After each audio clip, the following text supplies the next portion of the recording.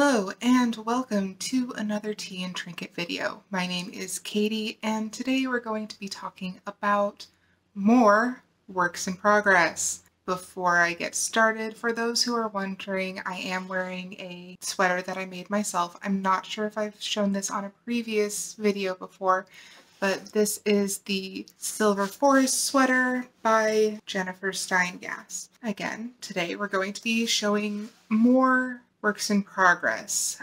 This may end up being a video that is shot in multiple parts because it turns out that getting my works in progress organized enough to film is a little more complicated. Everything's more complicated than I expected to be. Let's get started so that I can show you the first batch that I have on the tray to my left.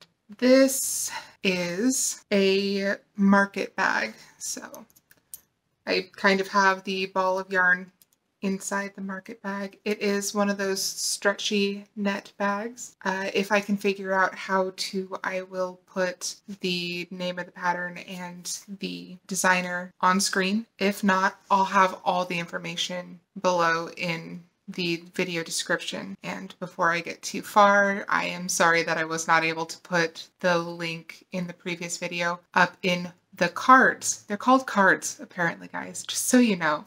Uh, you cannot have external links in the cards unless you are a YouTube partner, which I did not know. Now I know for the future. Anyways, back to what I was talking about. This peachy color is a bamboo cotton blend, I believe.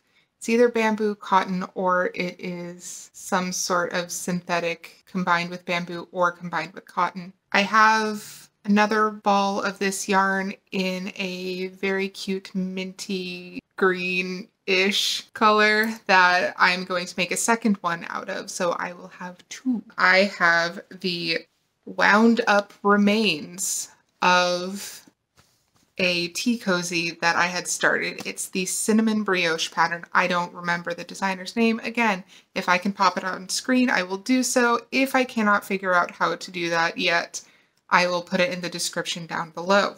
I might do both. I have these two lovely colors of Malabrigo Rios, and I can't remember the name of the colors.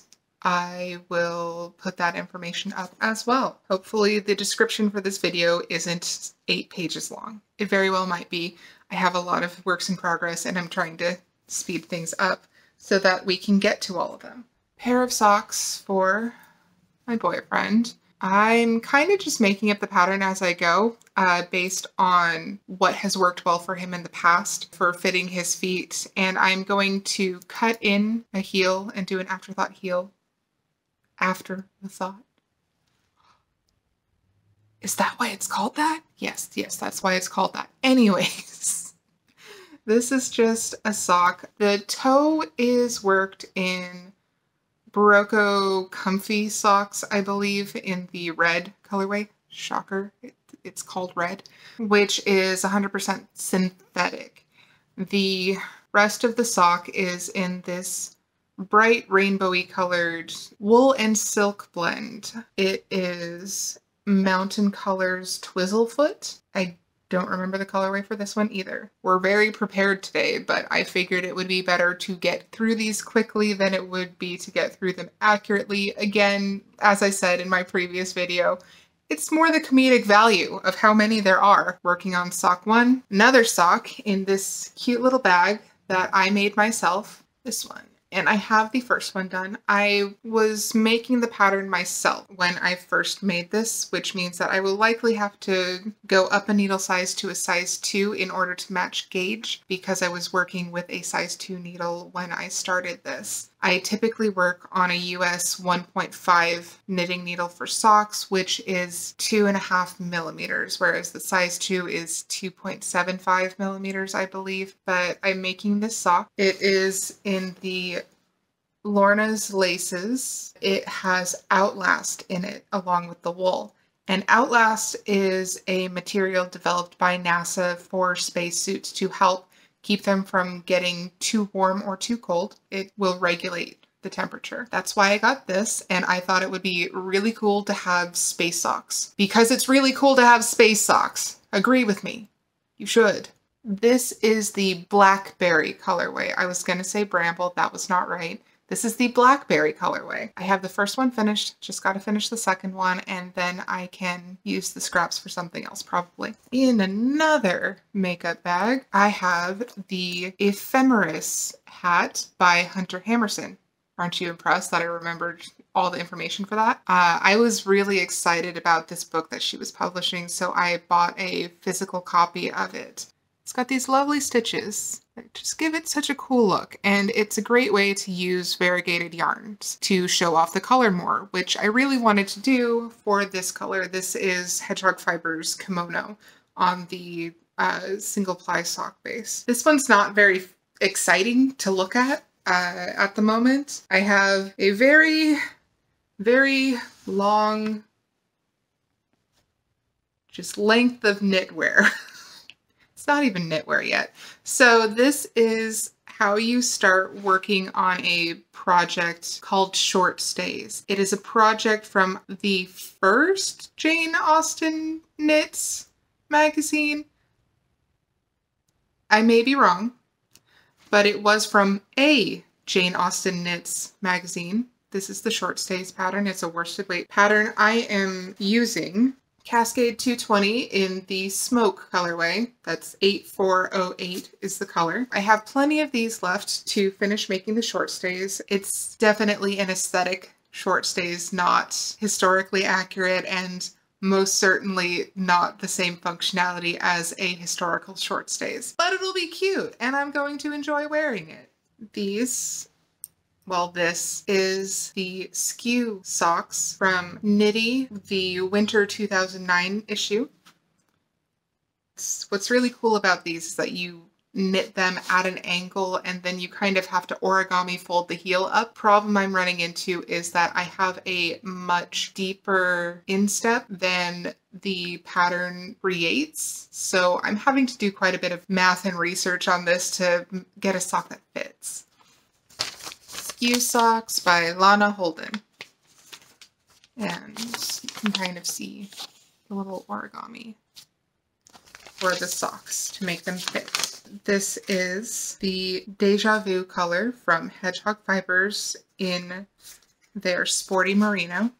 This is a cowl that I had started working on. This is the Raindrops cowl, I want to say. I am making it striped because I didn't have very much left of either of the yarns. Well, no, that's not true. I didn't have very much left of the lighter colored yarn, and the dark colored one was a bit brighter than I had wanted the cowl to be.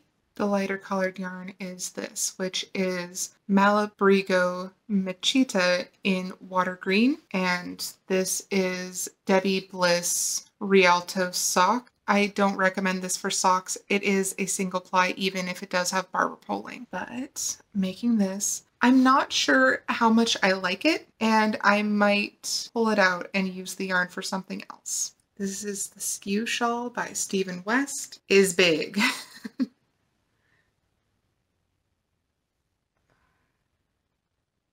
so it's not very easy to see because it is bunched up on a needle and quite literally falling off the other side. It's kind of double-sided, but I like the other side more.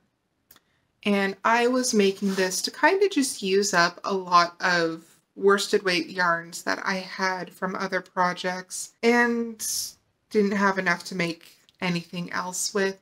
But this is one of the first brioche projects that I ever made. Literally these two yarns right here constitute the leftovers of my very first brioche project, which was a cowl. And so I think this was my second. This was definitely my first that involved increases and decreases in brioche.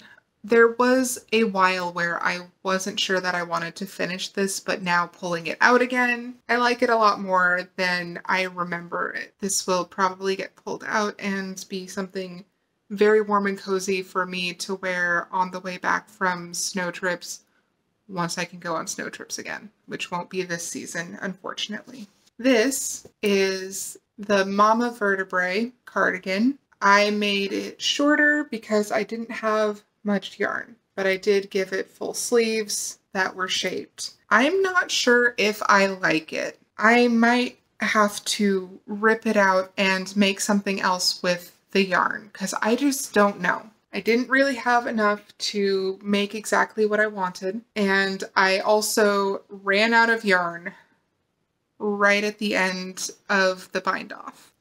I don't know if I'm going to finish it. I don't know if I'm going to rip out the bind off and an additional row and then just bind it off again.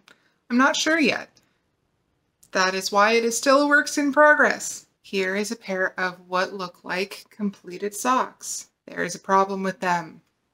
Leg length matches up. Heel matches up.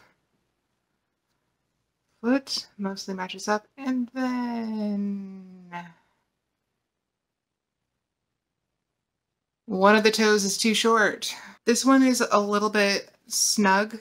Um, I'm not sure if that's going to be problematic. The reason this happened is because I knit the second sock at a much tighter gauge because I was stressed out. I need to see if the second sock is both too short and too tight before I can figure out whether I need to start over completely or just rip out the toe and knit it a little bit longer. And these are the keel heel socks. Another sock. Uh, this is the Pixel Rise by Kemper Ray and I did a Toes by Terry toe. It's real cute. I was using Hedgehog Fibers minis for it. It's just too tight. I need to now go back, rip this out, and uh, I'm probably just going to reknit it inside out so that the floats are looser because as you can see, this has a little bit of color work in it. It has strands of yarn that are between the stitches where those colors are located on the outside pattern, which if they're too tight cause the fabric to warp and pull in a little bit. But now I have more than just the mini skeins for this sock. I have a lot more Hedgehog Fibers full skeins that I have knit other projects with and have leftovers that can go into these a glove that I have not finished. This glove is intended for a man with much bigger hands than mine, but this pattern at this gauge is not fitting me, therefore I know it won't fit him. So I need to rip this out and find a way to add a whole bunch of stitches. So this one's a little bit different. This is a hooded cowl that I am making using nalbinding. Now, nalbinding is a fabric created by Scandinavian peoples during the Viking era, but the fabric is made out of knots that are just kind of the yarn is wrapped around your fingers and so the wide flat needle in a way that creates a very stretchy fabric. But because this is a knotted fabric instead of a knitted fabric, with knitting you have a series of loops that are interconnected with one another and stack on top of each other. Because of how the knitted loops are formed, if you cut into it or it wears through, you get kind of like that run if you've had a sock or a t-shirt that's gotten a hole in it, you'll notice that some of the stitches will just drop down and create these little ladders in between. That is because knitting is a series of stacked loops, whereas nalbinding is a series of stacked knots.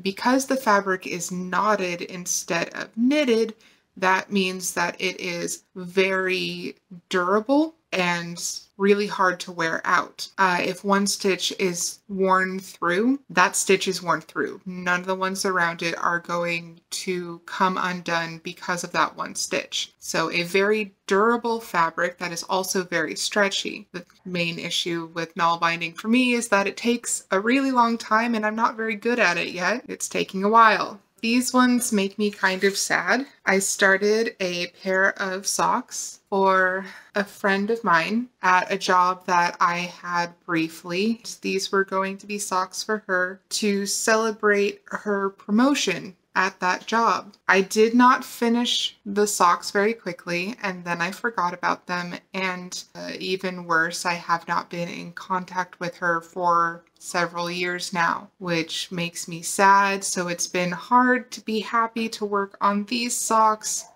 when I feel sadness. At this point in time, I don't know whether I am going to finish the socks and try and get in touch with her to give them to her, uh, finish the socks and keep them, or rip them out and start something different with them. I have not decided on the best course of action, so they're just kind of put on hold at the moment. This big bag is filled with a lot of scrap yarn, and ends and leftovers from projects that did not belong to me. A lot of this yarn was gifted things that I don't real I didn't really know what to do with. My mom at one point in time, she has since forgotten. So she doesn't remember that she asked for this, but she wanted a sparkly multicolored black scarf. I am working on a scarf for her that is black and sparkly. I'm probably going to try to make this at least double the width that it currently is. However, if I have leftover yarns, I will probably keep working on this until I run out of some of the yarns that I just don't know what else to do with them. If you can see, there's a lot of sparkly yarns in here. I don't really use a whole lot of sparkly things in my knitting for myself. It's usually reserved for my mother, who likes sparkles a lot. As you can see, it's very long. Um, I'm actually knitting this in one direction and leaving a lot of yarn to then cut and use as fringe. Another project I have mixed feelings about. This is the start of a mitten. The designer I think is Diana Walla. It is a Gryffindor themed mitten. Yeah, I really love the design. I like the patterns that the designer has produced. I like the colors still, but Harry Potter themed things can be very problematic due to the author's anti-trans and extremely transphobic stance and digging in her heels on the subject. This is another one of those instances where I am still learning how best to negotiate not wanting to be involved in a problematic genre, but also recognizing a lot of the personal ideas and characteristics that I have kind of built my identity on are very related to this subject, which is now kind of ruined for a lot of people, myself included. Again, I really like the design and I like the designer, so I might modify the design a bit for my own uses to kind of take away that association. Probably use different colors, so that it's not obviously Gryffindor themed. Take out the lion or change it to be closer to just a lion that you would see in a coat of arms or something similar. Just kind of take that meaning out of it so that I can still use this design without any token support for the author using this pattern doesn't financially benefit her in any way, but it still feels kind of wrong, even like creating those associations with a media produced by someone who has desperately hurt a lot of her readership. Another thing where I'm gonna have to figure out what to do about it. I, again, probably ripping this one out. I will likely use the yarn for a different purpose. And if I come back to this pattern amongst all of the other knitting that I am planning on doing before I think about this again, I might pick different colors to kind of just create my own meaning. Works in progress can be a very emotional topic because of the emotional connections that we feel to things and how those emotional connections change over time. That's just kind of the nature of the beast and it's part of the reason why I have so many. I have a lot of emotional connection to these things. Sometimes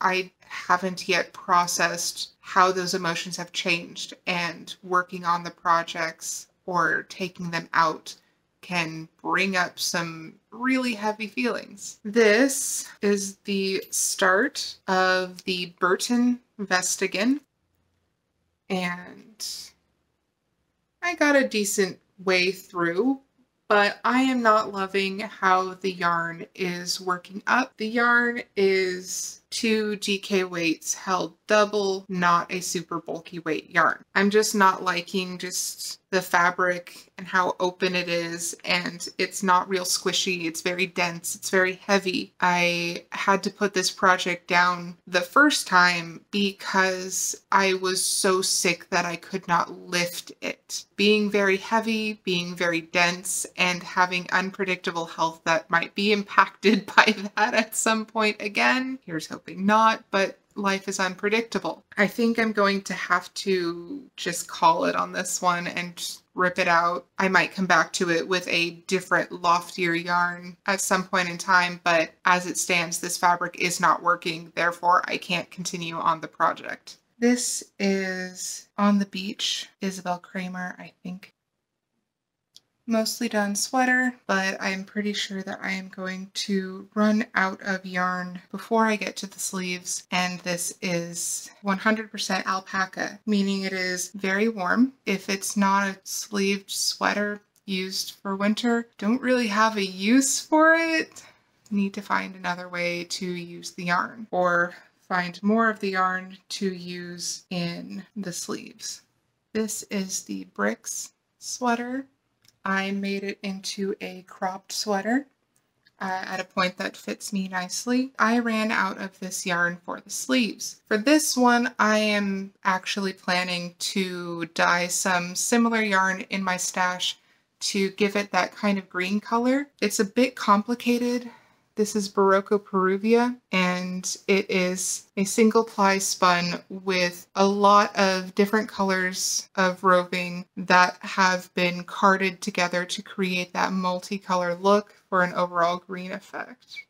This is the Moon Shawl by Sylvia McFadden, another one of her designs. All this really needs is for the ends to be woven in and for it to be vigorously blocked uh, for a family friend, I was making dish towels for her with swear words because that's just that's just her personality and she's gonna love them. But I only have two of them done.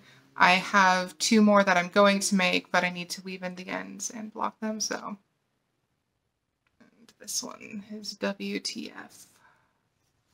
It's not real easy to see on screen, but the letters are just kind of done in garter stitch so that they kind of show up against the stockinette fabric, but not a lot. I think I've shown this one on the channel before. This is the Shapely Boyfriend cardigan. I added a shawl collar to it. It is entirely done except for blocking and buttons. There are no buttons to go with the buttonholes. Once that's done, this will be ready. It is an extremely warm sweater. I'm not going to have a use for it again until maybe October. This is just a cowl that I was making for my dad, striping two different colors of black, brown sheep, lamb's pride worsted, and bulky. I'll get it done eventually. This is just kind of like I have this yarn, I don't know what to do with it. Dad is often going to go snowshoeing. I wish I could go. Can't, but at least I'll send him something to keep him warm. This is the Antrorse sweater. I was making it for myself. Then my mom tried it on and decided it was hers. She's not getting another sweater after this. I need to finish the second sleeve and then block it and it'll be off to its new home. Speaking of this, another project that I started swatching for to use up the yarn remaining once I am done with this is a yellow scarf for a friend of mine to use up all the remaining yellow yarn. Since I don't really use this color much or wear it much, I think he'll like it, but I don't really have anything to show. I can only really just mention it. In case you didn't think I was weird enough, this is a wool tank top. It's not real easy to show on camera, but and it will stop rolling once I've blocked it, but this is a racerback tank top that I just kind of started making. I'm not super far along with it, but it's using a single ply hand spun yarn that a friend of mine from junior college spun. She, at the time, enjoyed spinning the yarn on a drop spindle. It was for a class that she and I met in fiber arts, but she wasn't a knitter or a crocheter or a weaver or did anything with yarn, so she just gave it to me, which was very kind of The last one that I'm going to show in this video is the Exploration Station by Stephen West. This one is in the middle of a row because of course it is. Here it is. I am using two colors of hedgehog fibers in their skinny singles and two colors of knitted wit in their single ply. The Italian plum and the royal, bright blue right here, are knitted wit. Can't remember the gray right now. I think that the dark purple blue rust mix is Hurricane. It's coming along. It's almost done. I just need to finish it. I think that this is the last section before it starts doing the chevron border at the bottom. All right, so likely I have more knitted works in progress, but at the moment I have not yet found them. This is the tally we are at. I will show more sewing and spinning and possibly weaving projects in the near future. I likely have quite a few other works in progress that I have to show, but a lot of them require some digging through my stuff and getting organized. It is very likely that before I can show you many other works in progress, I'll have a tidying video coming out. So you can tidy with me on that. If you enjoy the videos I'm putting out, if you want to show your support and or sympathy for me getting through these works in progress and the emotional work that they are forcing me to do by digging them up, or if you just want to help someone get some glasses with blue light filtration so that I don't get headaches while editing videos. I have a link down in the description for my Ko-fi account. As I said, I will likely be coming out with a tidying video very soon. My clutter, as I said before, is not cute. I have a lot of stuff that I need to work through now that I have more tools at my disposal in order to work through them. It's a process. If you want to go on that journey with me, stay tuned. Don't know how to end this yet. Okay, bye.